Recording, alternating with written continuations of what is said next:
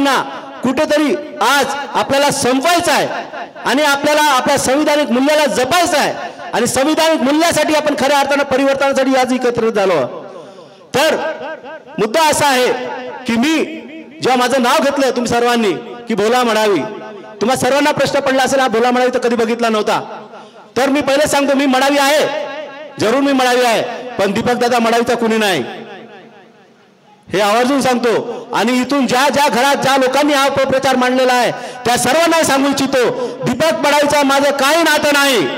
पण दीपक मळावीचा जो विळा आहे दीपक मळावीचं जे स्वप्न आहे त्याची जे जिद्द आहे आणि त्याला ज्या पद्धतीने शोषित पीडित वंचितांचा मूलभूत अधिकार द्यायचा आहे त्या सर्वांसाठी तो सर्व प्रश्नांना झुगारून सर्व पद्धतीच्या अन्याय तर झुगारून आज ह्या रिंगणात उभा आहे. एकीकडे बघा एकीकडे तुम्ही बघा ज्या पद्धतीने तुम्ही पक्षाची मांडणी करता त्या दोन पक्षाचे घटक एकीकडे काँग्रेस राष्ट्रवादी एकीकडे भाजपा. ह्या दोन्ही पक्षांनी का हातांना मांडला हो? का हातांना मांडला? कशा पद्धतीने मांडला? सातत्यानं कधी बीजेपी कधी काँग्रेस कधी बीजेपी कधी काँग्रेस कधी बीजेपी कधी काँग्रेस असं करता करता पंच्याहत्तर वर्ष तुम्ही मतदान केलेलं आहे. केलेलं आहे की नाही? केलं आहे की नाही? केलं ना? तर तुमचे प्रश्न सुटले का? मग जेव्हा तुमचे प्रश्न सुटले नाही तर त्या त्या पक्षाला वारंवार तुम्ही मतदान का म्हणून करायचं? का नाही आपण परिवर्तनाची भाषा करायची? केली पाहिजे का नाही? केली पाहिजे का नाही? अरे केली पाहिजे का नाही? पक्का? तर ह्याच गोष्टी मी तुम्हाला सांगायला इथं आलोय. मी इथला पण नाही मी चंद्रपूरचा आहे.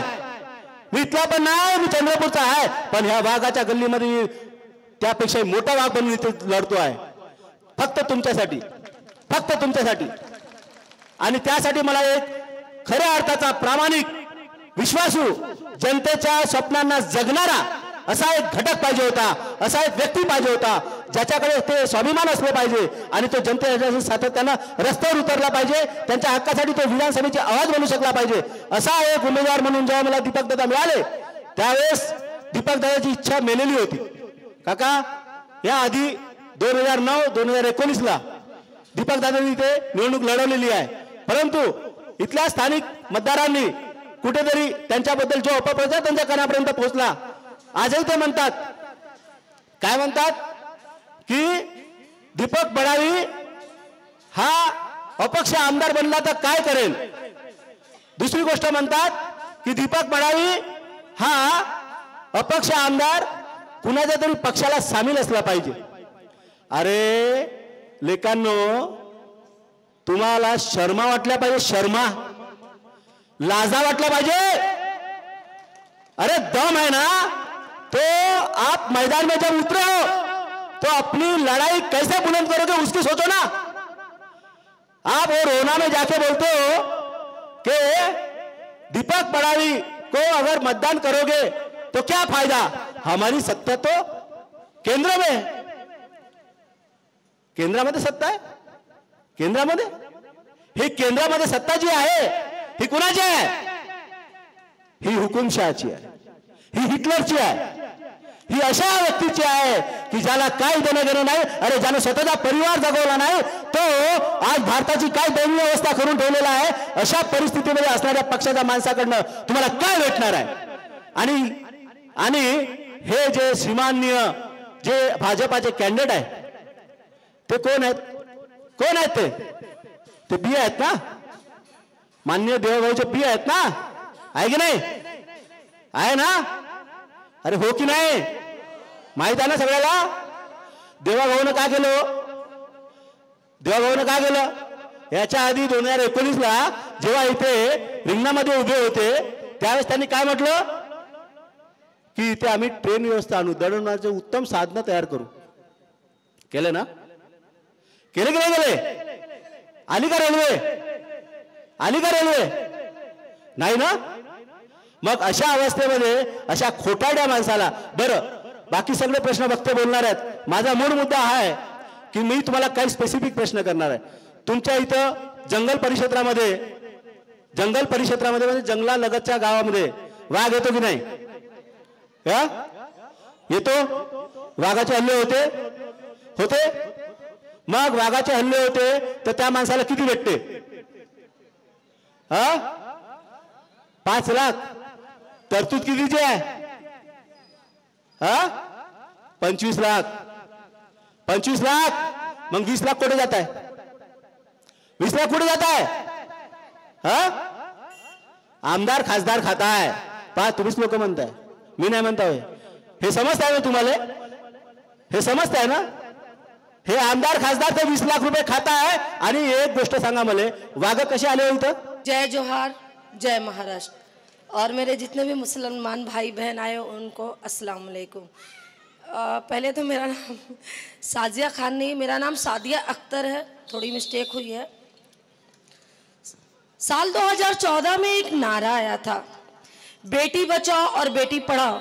ये किसको किसको पता है? जिसको मालूम है कि बेटी बचाओ और बेटी पढ़ाओ का नारा हमारे फेकू प्रधानमंत्री ने दिया था। सबको पता है ये बात कि उन्होंने दिया था नारा, बेटी बचाओ और बेटी पढ़ाओ, है ना? और ये नारा कब आया था पता है आपको? जब साल 2012 में हम निर्भया कांड को झेल चुके थे। हम जैसे करोड़ों माए बहनें डरी सहमी थी। हम अपने बच्चों को बाहर भेजते नहीं थे पढ़ने के लिए, क्योंकि हमको डर था कि कहीं हमारी बच्ची का अगला नंबर ना हो। हमारी बच्ची का साथ निर्भया जैसा कांड ना हो। हम डर सहम के थे और इस टाइम एक नारा आया। बेटी बचाओ और बेटी पढ़ाओ। जबकि हमको मालूम था कि चाय वाले बेचारे है कैसे, है ना? लेकिन हम भारत की पावन भूमि से हैं। और हम हम हर किसी को सुधरने का मौका देते हैं। हमने एक डाकू को सुधरने का मौका दिया, जो बाद में, जो डाकू सुधर के रामचरित मानस का रचना किए। तो हमने सोचा कि साहब भी सुधर गए। चलो इनको एक मौका दिया जाए, क्योंकि एक नारा, ये जो नारा था, बहुत ही अछूता था। इससे पहले ये नारा था, सब पढ़ो, सब बढ़ो।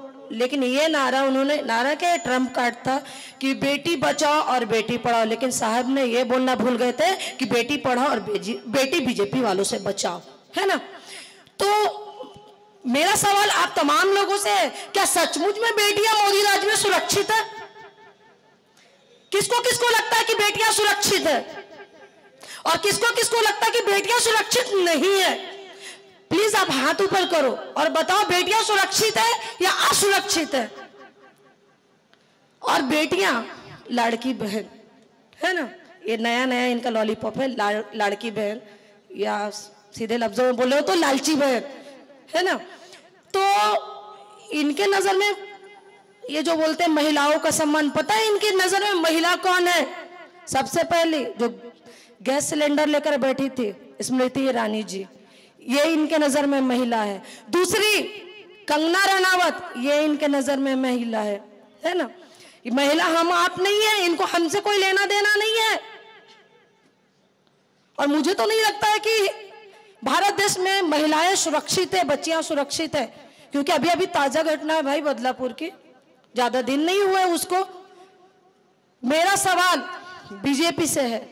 मेरा सवाल प्रधानमंत्री मोदी जी से मेरा सवाल, आप तमाम जिम्मेदार नागरिकों से है, मेरा सवाल, ये भ्रष्ट सरकार से है कि मोदी जी के राज में अगर बेटियों पे हो रहा जुल्म और अत्याचार है, मोदी जी के राज में अगर बेटियों पे हो रहा जुल्म और अत्याचार है, दिल पर रखकर हाथ कहिए क्या यही देश का चौकीदार है?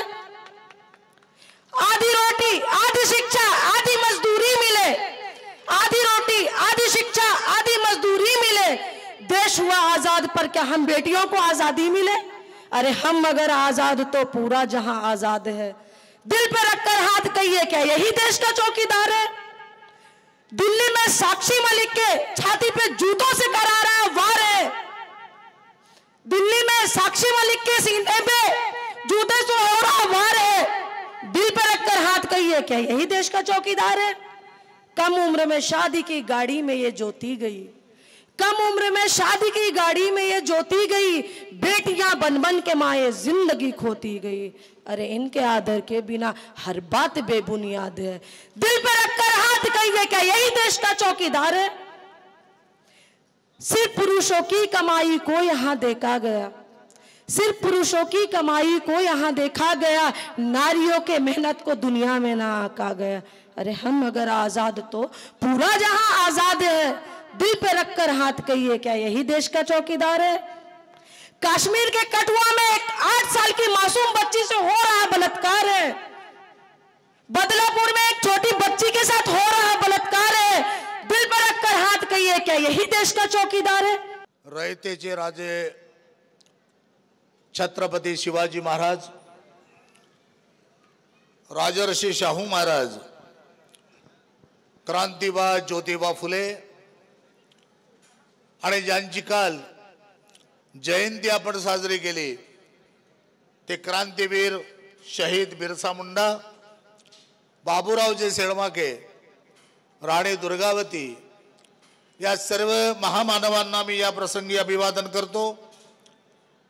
आज कारंजा या ठिकाणी ज्यांच्या प्रचाराकरता आपण या ठिकाणी जमलोत ते आपले लोकप्रिय उमेदवार सन्माननीय दीपक दादा मडावे ज्यांच्या प्रचारासाठी आताच ज्यांनी अख्तर मॅडम यांनी आताच अतिशय सुंदर पद्धतीनं शेरो शायरीमध्ये आपलं मनोगत या ठिकाणी व्यक्त केलं. त्या शाजिया अख्तर ज्याने या ठिकाणी अत्यंत जोरकसपणे ज्याने ती भूमिका मांडली ते आमचे भोला मडावी गजबीचे गोंडवाला गणतंत्र पार्टीचे सर्व पदाधिकारी मंचावर सर्व पदाधिकारी आणि उपस्थित बंधू आणि भगिनींनो मला माहिती आहे ही प्रचार सभा आहे. आणि अत्यंत उघड्यावरही प्रचार सभा आहे. थंडीचा माहोल आहे. अनेक आता थंडी तर हळूहळू वाढायला लागलेली आहे. अनेकांना असं वाटत असेल की या थंडीमध्ये किती काळ आपण बसायचं आणि किती काळी सभा चालणार आहे. मी तुम्हाला सांगतो फार कमी वेळामध्ये ही सभा या ठिकाणी संपणार आहे. तुम्हाला अधिक थंडीचा चटका सहन करावा लागणार नाही.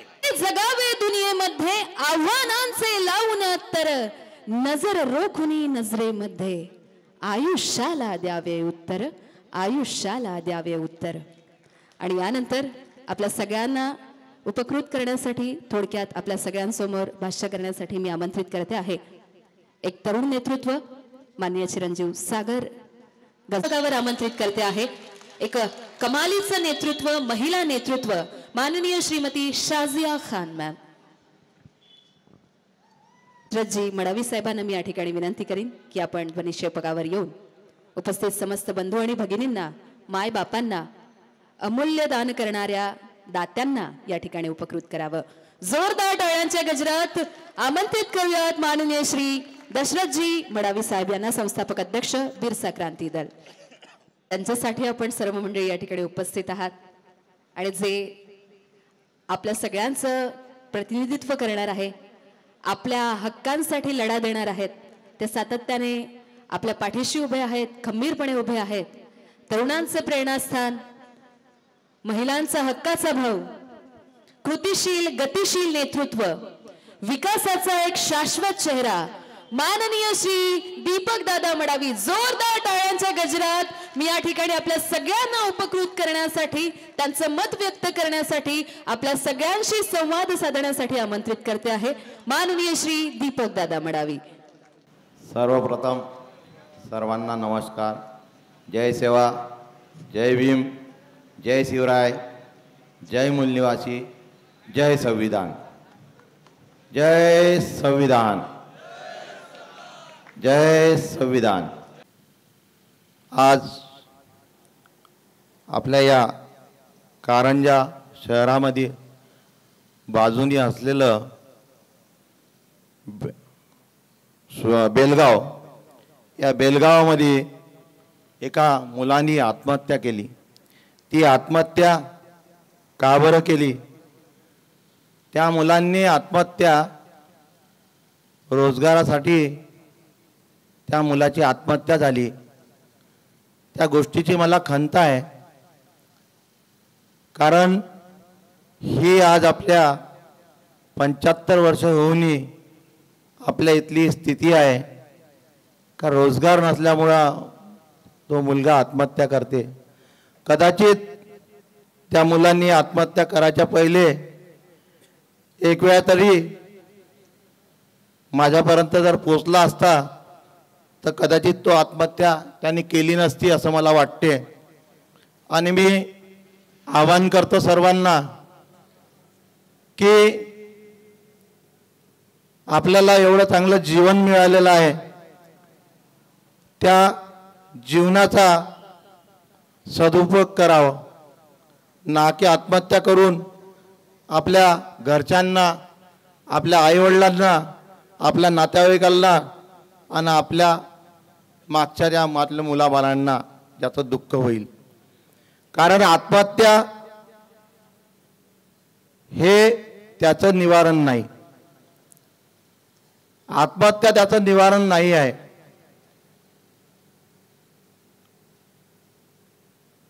विचार करा मित्रांनो आपण मतदान करतो आणि मतदान पाच वर्षातून कितीदा करतो आणि कशासाठी करतो?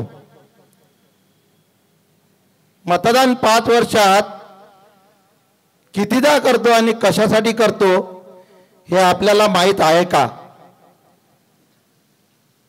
जर आपल्याला ही गोष्ट माहीत असेल तर आपण त्या मतदानाचा विचार केला असता. आपण ग्रामपंचायतला मतदान करतो. त्या ग्रामपंचायतचा अधिकार काय? आपण कधी जाणून घेत नाही. आपण जिल्हा परिषदला मतदान करतो. पंचायत समितीला मतदान करतो. आणि विधानसभा लोकसभेला मतदान करतो. पण लोकसभा विधानसभा जिल्हा परिषद पंचायत समिती ग्रामपंचायत या सर्वांचे अधिकार आपण कधी जाणूनच घेतले नाही. जर आपण जाणून घेतली असते तर आपली ही वेतार आली नसती. जी आज आपली पंच्याहत्तर वर्ष झाले स्वातंत्र्य होऊन आपण अमृत महोत्सव बनवतो पण आजही शेतकऱ्याला आत्महत्या करावी लागते. आपण प्रत्येक वेळेस म्हणतो आम्हाला पुढच्या पाच वर्षांनी बदल घडवायचा आहे. आम्ही बदल घडवणार. बदल घडवण्यासाठी आम्ही निघतो. ज्यावेळेस इलेक्शन येते ज्यावेळेस इलेक्शनचे वारे वाहते त्यावेळेमध्ये इलेक्शनच्या चार दिवसापर्यंत खूप माऊल राहते. नाही खूप चांगला आहे. पण शेवटच्या दोन दिवसामध्ये आपल्या जनतेला काय होते माहीत नाही राहत. आणि जो कॅन्डिडेट येणारा राहते तो कॅन्डिडेट नाही येत आणि दुसराच कॅन्डिडेट निवडून येते.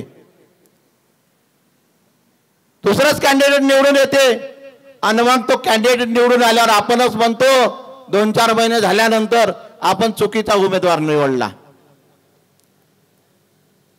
आपणच बोलतो आपण चुकीचा उमेदवार निवडला.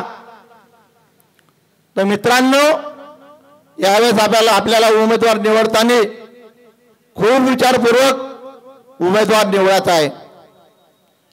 आपली जी लढाई आहे ही लढाई हुकुमशाही घराणेशाही आणि गुंडेशाहीच्या विरुद्ध चालू आहे.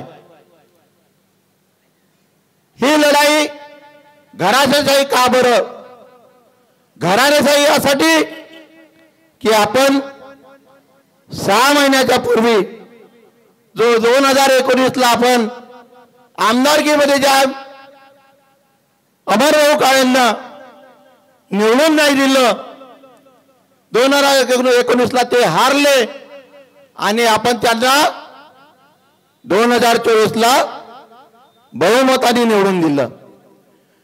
दोन हजार चोवीसला जेव्हा आपण बहुमताने निवडून दिलं तर मित्रांनो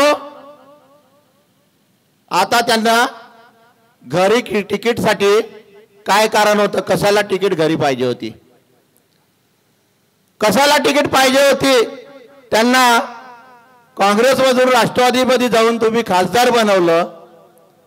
आणि आता दोन हजार चोवीसमध्ये परत त्यांना घरी आमदारकी बनवायचं. दोन हजार चोवीसमध्ये परत आमदारकी बनायचं. मग दोन हजार चोवीस नंतर परत नगर परिषद येईन. मग मला मुलाला नगर परिषद द्यायची. मग परत काही दिवसांनी येईन. तर परत ग्रामपंचायत पंचायत समिती द्यायची जिल्हा परिषद द्यायची. हीच घराणीशाही आपल्याला चालवायची आहे का? हीच घराणीशाही आपल्याला चालवायची आहे का? ही घराणीशाही आता चालणार नाही. कारण जनतेला ही गोष्ट माहीत आहे. बीजेपीचा जर विचार करतो इलेक्शन आलं इलेक्शनच्या पहिले लाडली महिला योजना घेऊन आले. इलेक्शन घ्यायचं की नाही घ्यायचं घ्यायचं की नाही घ्यायचं याच कन्फ्युजनमध्ये किती दिवस तरी निघून गेले. कारण त्यांना माहीत होतं आपली सरकार बसत नाही आहे. त्यांना माहीत होतं आपली सरकार नाही बसताय. लाडली बहीण घेऊन आली. ठीक आहे. लाडली बहीण तुम्ही आणली. मला सांगा लाडल्या बहीणमध्ये ज्यांना पंधराशे रुपये पाहिजे ठीक आहे त्यांनी घेतले. पण एका एका माणसाने ज्याला समज होती त्यांनी पन्नास पन्नास हजार रुपये उचलून घेतले. तुम्ही टीव्हीवर बघितलं असेल पन्नास हजार रुपये एकाच व्यक्तीने उचललेले आहे आणि मला सांगा पंधराशे रुपये तुम्हाला मिळाले महागाई कुठे गेली हो? महागाई कुठे गेली? महागाईचा विचार केला का? काढून राहिले ना? मग काढून राहिले तर तुम्हाला ही गोष्ट जेव्हा माहीत आहे आणि तुम्ही त्या फुकटच्या मागे लागता. लागता ना? आता तुम्ही बघत होता आमच्या लाडल्या बहिणी भरपूर दिसते तुम्हाला. जिकडे तिकडे लाडल्या बहीण लाडली बहीण. अरे मी म्हणतो फुकट वाटण्यापेक्षा कामधंदा द्या. कशाला फुकट तर वाटता कुठली गोष्ट? फुकट वाटणं म्हणजे देशाला कमजोर करणं आहे. आणि आपल्याला फुकटाची सवय पडते तर आपण कामधंदे आपण सोडून देतो. आपण कामधंदे करत नाही. घरी चौकात टिपोरी करत बसले राहते लोक काही दारू पिऊन. का बरं? कारण त्यांना माहीत आहे आम्हाला तांदूळ भेटून राहिले डाळे भेटून राहिली आहे. दोन तीन दिवस कामाला गेलं तर होऊन जाते. पण पुढचं काय? मुलाबाळाचं काय? त्याचा आपण कधी विचारच करत नाही. तो विचारच सोडून दिलेला आहे आपण. मग मला सांगा तुम्ही एवढे वर्ष झाले पंच्याहत्तर वर्षामध्ये या आर्वी विधानसभेला पाच वर्ष तो पाच वर्ष या पाच वर्ष तो पाच वर्ष या. दर पाच वर्षांनी तुम्ही बदलून दिला बदलून दिल्यानंतर म्हणता का नाही आता आम्हाला चेंज करायचा आहे. आम्हाला नवीन आणायचा आहे. नवीन चेहरा पाहिजे. ज्यावेळेस नवीन चेहरा तुमच्यासमोर येते आणि त्यावेळेस आपसीमध्येच काही लोक राहते. पार्टीवाले सुद्धा लोक राहते. तो म्हणतो डमी कॅन्डिडेट उभा आहे. डमी आता उद्याची सभा आहे. उद्याच्या सभेसाठी मी आताच तुम्हा सर्वांना सांगतो की असा अपप्रचार होऊन राहिला आहे का दीपक भाऊ मडावी हे राष्ट्रवादीला पॅक झालेले आहे. मला मगाशी चार पाच फोन आले. मला चार पाच फोन आले. त्यांनी सांगितलं की दीपक भाऊ पॅक झाले. उद्या हा जर शब्द तुमच्या कोणाच्याही कानावर आला एकही माणूस माझ्या नावावर सभेला जायचं नाही. मी पॅक झालेलो नाही आणि मी कुठल्या पार्टीला पॅक होणारही नाही.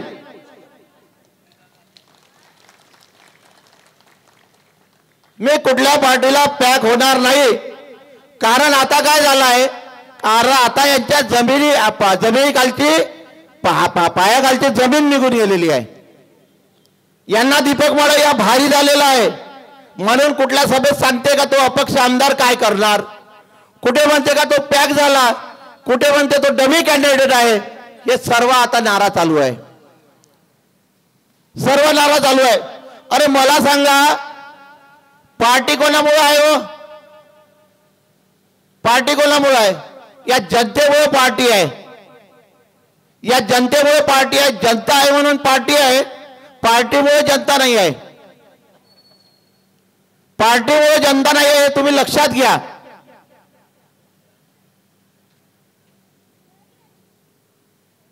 पार्टीला तुम्ही बनवलेला आहे. पार्टीला तुम्ही सामोरलेलं आहे. तर तुमचे अधिकार हे तुम्हाला मिळाले पाहिजे ना. तुमचे अधिकार तुम्हाला मिळाला पाहिजे. मला सांगा की आता या विधानसभेमध्ये बी जे पीमध्ये किंवा काँग्रेसमध्ये या ग्राउंड वर्कमध्ये काही कोणी चेहरा नव्हता का? पंच्याहत्तर वर्ष सर्व लोक पार्ट्याला धरून काम करून राहिले आहे. तर तुमच्याजवळ दुसरा चेहरा कोणी तयार नाही झाला का? मग तुम्हाला कोणाला जर तिकिटा द्यायच्याच नाही तर तुम्ही कशासाठी अर्ज मागवता? कशासाठी फॉर्म भरायला लावता? कशासाठी उमेदवाराला म्हणता की बा तुम्ही फॉर्म भरा कोण कोण इच्छुक उमेदवार आहे त्यांनी फॉर्म भरावं. अरे तुम्हाला फॉर्म भरल्यानंतर जो फॉर्म नाही भरत त्याला तुम्ही तिकीट देऊन देता. आणि ज्या जो फॉर्म भरते त्याला तुम्ही पण तिकीट देतच नाही तर इच्छुक अर्ज मागवता कशासाठी? कुठलं काम आहे? मला सांगा बीजेपी मध्ये सुद्धा की माणसं नव्हते का? एवढ्या वर्षाचे माणसं त्यातही होते ना? बघ आता ते मुंबई नेऊन इथं काम करणार आहे आता. मुंबईला बसून होते आता मुंबई नेऊन इथं काम करणार आहे. म्हणजे इथं गावामध्ये माणसंच नाही काम करायला. गावातले माणसं गेले सर्व. त्यांनी काय करायचं? चटाया उचलाच्या आणि पार्टीच्या मागे धावाचं अरे आपल्या आर्वी विधानसभाची अवस्था बघा. हालत बघा. काय होऊन राहिलेली आहे. त्याकडे लक्ष द्यायला पाहिजे की हा पार्टीवादच करत बसायला पाहिजे. अरे तुम्ही कॅन्डिडेट असा निवडा की तुमच्या इथलं काम झालं पाहिजे. कामासाठी तुम्ही कॅन्डिडेट निवडा पार्टीसाठी नाही. पार्टी तुमच्यामुळे आहे तुम्ही पार्टीमुळे नाही.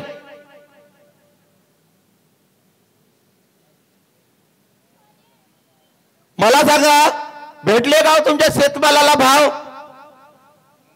किती भाव भेटून राहिले? कोण उचलते याच्यावर कोण बोलते या विचार? बोलते का कोणी? मला सांगा सोयाबीनला भाव दहा वर्षापूर्वी का होता? आणि आज दहा वर्षानं काय? आहे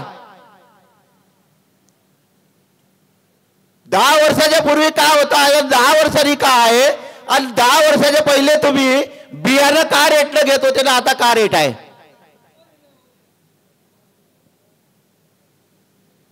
जर दोन हजार चौदा मध्ये समजा तुम्हाला सोयाबीनला तीन हजार रुपये भाव असेल तर बॅग तुमची पंधराशे सोळाशे रुपयाची होती. आणि आज जर तुम्ही सोयाबीनचं बॅग घ्यायला गेलं तर आज अडीच ते तीन हजाराची सोयाबीनची बॅग आहे. सव्वा तीन हजाराची. आणि सोयाबीनला भाव किती आहे हो? साडेतीन हजार. साडेतीन हजार रुपये त्या सोयाबीनला भाव आहे. चौदाशे पासून. विचार करा. जगेल का कास्तकार? जाईल का तो कास्तकाराचा मुलगा समोर? शिकेल का तो? या गोष्टीचा विचार करायला पाहिजे. त्या कापसाचा भाव काय? तो कापूस किती किती रुपयावर आलेला आहे? त्यातही आता तो कापूस आयात होऊन राहिलेला आहे. बाहेर देशातून कापूस आयात होत आहे. तुम्ही का कराल? तुम्ही का कराल? विचार करा. कृषी प्रधान देश आहे म्हणतो आपण आपलावाला. कुठं गेला कृषी प्रधान देश? आले की टप्पेच मारायचे बटलाच दाबायच्या का? का बोलणारा एखादी माणूस पाठवणार? का नाही बाय हा माणसाला पाठवायचा आहे हा माणूस बोलेल आमच्या बाजूने बोलेल. हा लढा तुमच्यासाठी हा लढा लढून राहिला आहे मी. हा लढा तुमच्यासाठी आहे.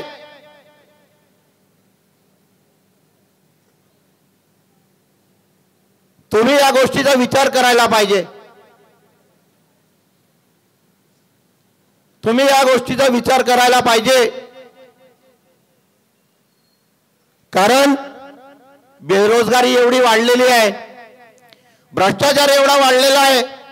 एखादी मुलगा जर एम बी बी एस शिकला आणि त्याला जर नोकरी लागायची असली त्याला जर जायचं असलं तर तुम्हाला माहीत आहे त्याला किती रुपये लागते.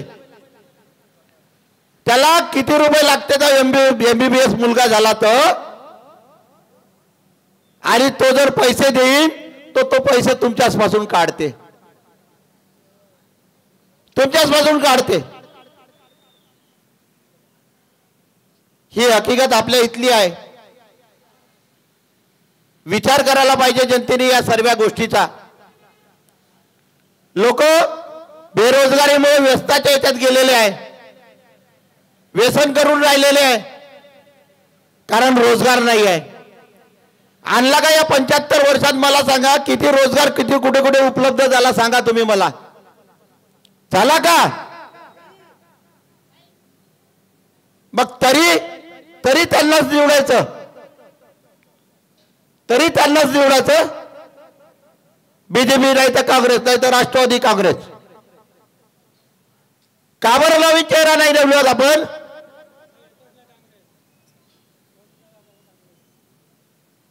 काँग्रेस नाही तर मग बीजेपीला द्या. नाही. आम्ही माणसं पकडले. हो. हा. आपल्या दादा जय दादा हा हा जय दादा का करणार आहे? तुम्ही कुठं कुठं काम केलं? पहिलाच चान्स आहे ना. मग. चला बाबाजीने जयदादाला निवडलाय म्हणते. तर असा आहे. नवीन चेहरा आपण निवडायला पाहिजे. कारण आपल्या इथली जी परिस्थिती आहे हा परिस्थितीचा विचार करायला पाहिजे. माझं कारंजा वासींना सुद्धा माझं एक आव्हान आहे. मी मला कारंजावाले चांगल्याने ओळखते.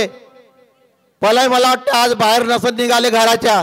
पण हा आवाज जिथपर्यंत जात आहे तिथपर्यंत मी त्यांना कारंजावाल्यांना सांगतो की बाबांना यावेळेस तुम्हाला तुम्ही पार्टीला बांधले आहे म्हणता ना ठीक आहे. नका येऊ समोर तुम्ही आम्हाला म्हणता का भाऊ आम्ही समोर येऊन काम नाही करत. मी नाही आहे कुठे कोणाला बांधलेला. मी ओपन चॅलेंज करतो मी ओपन बोलतो. कारण मी कोणाचा बांधलेला नाही आहे. मला अधिकार दिला आहे मी त्या अधिकाराने जगतो. मी त्या अधिकारावर बोलतो. म्हणून माझं तुम्हाला सर्वांना एकच आव्हान आहे. आपल्या मुलाबालाच्या भविष्यासाठी आपल्या पुढच्या पिढीसाठी यावेळेस आपल्याला बदल घडवायचा आहे. यावेळेस आपल्याला बदल घडवायचा आहे. या आर्मी विधानसभाला जर महाराष्ट्राची एक नंबरची विधानसभा जर बनवायची असेल तर तुम्हाला या कल्टिवेटरला पुढं आणायचं आहे. या महाराष्ट्राला बदली जर आर्मी विधानसभा एक नंबरची बनवायची असेल तर या कल्टिवेटरचं बटन दाबायचं आहे. कारण हे कल्टिवेटर जे आहे हे शेतकऱ्यांचं चिन्ह आहे. आणि मी शेतकऱ्यांचाच मुलगा आहे. हे शेतकऱ्याचंच चिन्ह आहे आणि मी शेतकऱ्याचाच मुलगा आहे. मी जरी शेती केली नसेल पण शेती काय याची मला जाण आहे. मी जरी शेती केली नसेल पण शेती काय याची जाण आहे. कारण शेतीमध्ये आमचे आई वडील हे वावरलेले आहे आणि त्यांनी शेती करून दाखवलेली आहे.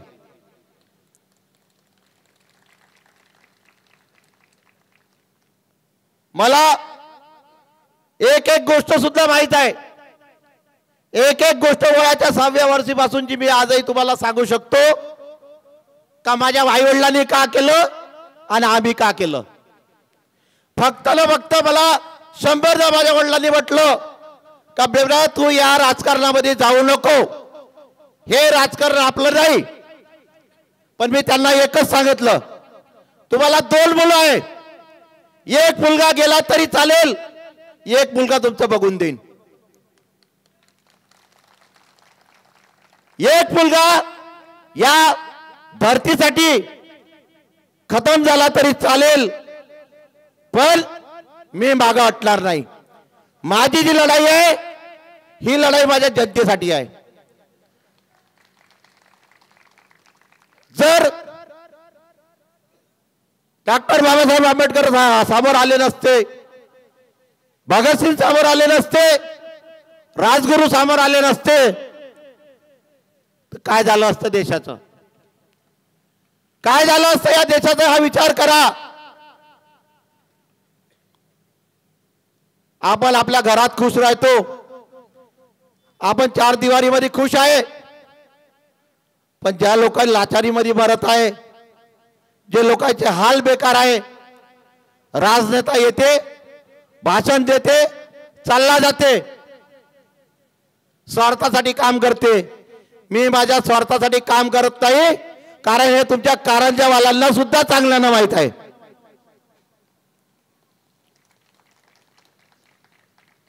कारण मला स्वार्थच जर करायचं असतं आणि मला राजनीतीमध्ये जायचं असतं मागच्या दरवाजा समोर उघडे आहे मला जायला. आताच या विधानसभेच्या पहिले कितीतरी तर्क तर झाले पण मी मागं अटलो नाही. मी माझ्या जागेवर थांब होतो. आणि ही विधानसभा सुद्धा मी लढणार नव्हतो. ही विधानसभा सुद्धा मी लढणार नव्हतो कारण या आपल्या विधानसभेमध्ये जे सुशिक्षित लोक आहे जे समजदार लोक आहे हे लोक फक्त काय म्हणते? का दीपक बडाई फक्त वोट खाले उभं राहते। पण बाकी जनतेने मला हेच म्हटलं का भाऊ यावेळेस तुम्ही एक वेळा तरी उभे राहा. निवडून आणणं हे आमच्या हाती आहे. निवडून आणणं हे आमच्या हाती आहे. तुम्ही उभे राहा. भोला भाऊनी मला माहीत नव्हतं. माझी ओळख नाही काही नाही. त्यांनी सहा महिन्यापूर्वी इथे सर्वे केला पूर्ण. सहा महिन्यापूर्वी सर्वे केला त्यांना सहा महिन्यामध्ये एकच नाव दिसलं ते म्हणजे दीपक मडावी. अरे काहीतरी प्रामाणिक प्रामाणिकता असेल म्हणून त्यांना ते नाव दिसलं ना. नाही तर मला एवढं सांगा का ते कुठले मी कुठला? कशाला कोणी म्हटलं असतं दीपक पडावी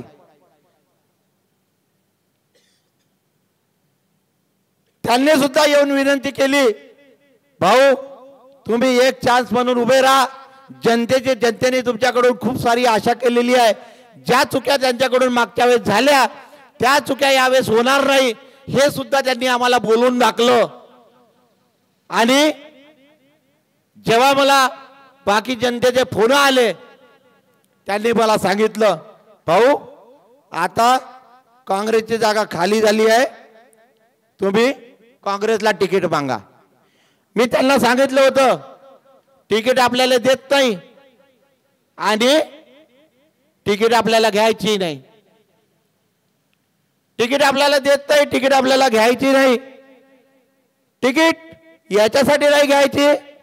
का मी जर तिकीट घेतली तर मी बाकीच्या सारखा दबून राहीन. मी कशाला तिकीट घेऊन दबून राहू? पण जनतेचं म्हणणं होतं की भाऊ तुम्ही तिकीट घ्या तुम्हालाच तिकीट मिळते. तिकीटसाठी गेलो काँग्रेस सोबत बोलणं झालं राष्ट्रवादी सोबत बोलणं झालं. त्यांनी सांगितलं का ठीक आहे तुम्हाला आम्ही तिकीट देतो. सर्व गावोगावी जे चाहते होते त्यांना एक उत्साहाचा वाटा निर्माण झाला. आणि त्यांना असं वाटलं का दीपक भाऊला तिकीट मिळून भेटते. माझ्या मी चोवीस तारखेला माझ्या लक्षात आलं ही गोष्ट. माझं बोलणं झाल्यावर त्यांनी मला सांगितलं का एकोण अठ्ठावीस तारखेला क्लिअर होऊन जाईल. आणि मी म्हटलं हे अठ्ठावीस तारखेला क्लिअर होईल तर हे होऊ शकते का? एकोणतीस तारखेला मला फॉर्म नाही भरता येईल. मी पंचवीस तारखेला राष्ट्रवादीचा आणि अपक्षाचा दोनही फॉर्म टाकून दिले. पंचवीस तारखेला फॉर्म टाकल्यानंतर सव्वीस तारखेला तिकीट क्लिअर झाली राष्ट्रवादीची. आणि सत्तावीस तारखेला क्लिअर झाली बीजेपीची. फक्त आणि फक्त तिकीट थांबल्या होत्या त्या दीपक मडावीसाठी फक्त फक्त तिकीट थांबली होती फक्त दीपक मडावीसाठी का दीपक मडावीला या रिंगणातून बाहेर कसं करता येईल? विचार करा बदलून जरा जरा दरारा इलेक्शन लढण्याच्या पहिलेचा आहे तर तुम्ही मला आज एक सांगा. आमदार बनल्यावर का दरारा राहील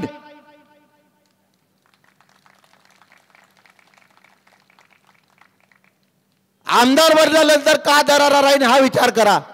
त्यांना माहीत आहे दीपक बळाई हा माणूस शांत बसणारा नाही आहे आणि हा शांत बसत नाही. मग ही जर परिस्थिती त्यांची आहे तर माझे मायबाप बंधू बहीण तुम्ही ही गोष्ट विचार करायला पाहिजे. का जनता मतदान करते मतदान करते मतदान. तर हे मतदान करताना आपण विचार करून मत करायला पाहिजे. का आपलाच माणूस आपण तिथं पाठवायला पाहिजे? आपलाच माणूस आपण विधानसभेवर पाठवायला पाहिजे. आणि आपल्या ज्या या समस्याचं जे निवारण आहे हे निवारण आपण लोकशाहीच्या याच्यातून विधानसभेतून आपण घ्यायला पाहिजे. माझं एकच म्हणणं आहे आपली लढाई शेतकऱ्यांची बेरोजगारीची हुकुमशाहीची घराणेशाहीची गुंडशाहीची. आपण शेतकऱ्याच्या मालाला भाव देणार आपण बेरोजगारांना काम देणार शिकल्यांना नोकरी देणार हे आपले तीनही प्रश्न आपण सोडवणार. यासाठी आपण लघु उद्योग इथे उ- उभे करणार ज्यातून मुलांना महिलांना काम मिळेल. महिला सक्षमीकरण करणार. पाच वर्ष तुम्ही चान्स द्यायचा. पाच वर्षांनी हे जर तुमची विधानसभा आणि हे केलेले वादे जर पूर्ण झाले नाही तर पाच वर्षाने मी तुम्हाला मत मागायला मी येणार नाही आणि तुम्ही मला दरवाजात उभं करायचं नाही. पाच वर्षांनी मी तुम्हाला मत मागायला येणार नाही. तुम्ही मला दरवाजात उभं करायचं नाही. आणि माझा या तुम्हाला सर्वांना मी वचन देतो का जे मी बोलतो ते मी करतो. कारण मी स्वतःला घडवलेलं आहे. मी स्वतःला घडवलेलं आहे. मला स्वतःला माहीत आहे काय करावं लागते रे का नाही.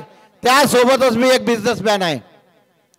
मला रोजगाराला रोजगार कसा द्यायचा? हा मला माहीत आहे. शेतकऱ्याला भाव कसा द्यायचा? हा मला माहीत आहे. युवकांना काम कसं द्यायचं? हे मला माहीत आहे. त्यामुळे तुम्हाला मी एकच गोष्ट सांगतो. यावेळेस कुठल्याही पार्टीला बळी न पडता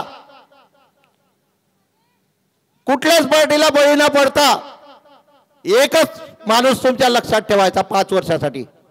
फक्त दीपक मडावी. फक्त ना फक्त दीपक मडावी आणि दीपक मडावीचं चिन्ह आहे कल्टिवेटर त्याची बटन आहे बारा नंबर. आणि मी आहे चेहरा आणि तुम्ही आहे आमदार. मी आहे चेहरा तुम्ही आहे आमदार. कारण फक्त चेहरा बनून तुम्ही मला पाठवत आहे पण तुमचे हक्क तुम्हाला इथं गाजवायचे आहे. तुमचे हक्क तुम्हाला इथं गाजवायचे आहे आणि त्याच्यासाठी अधिकार तो जो अधिकार आहे तो अधिकार तुमच्याच जवळ आहे. तो अधिकार तुमच्याच जवळ आहे. फक्त तुम्हाला तो अधिकार माझा आहे हे तुम्हाला जाणून घ्यायचं आहे. आणि तो अधिकार या एका बोटामध्ये आहे. एकाच बोटामध्ये आहे. एक बटन एका बोटाने बटन दाबायची आहे आणि आपला अधिकार मिळवायचा आहे.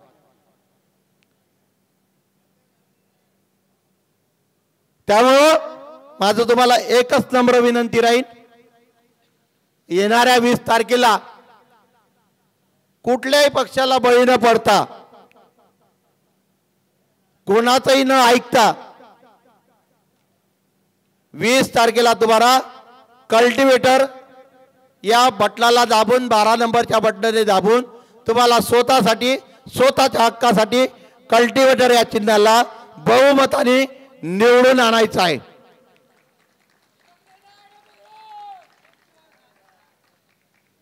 कल्टिवेटरला निवडून आणायचं आहे. एवढंच मी तुम्हाला इथं सांगतो आणि थांबतो. जय सेवा जय हिंद जय महाराष्ट्र.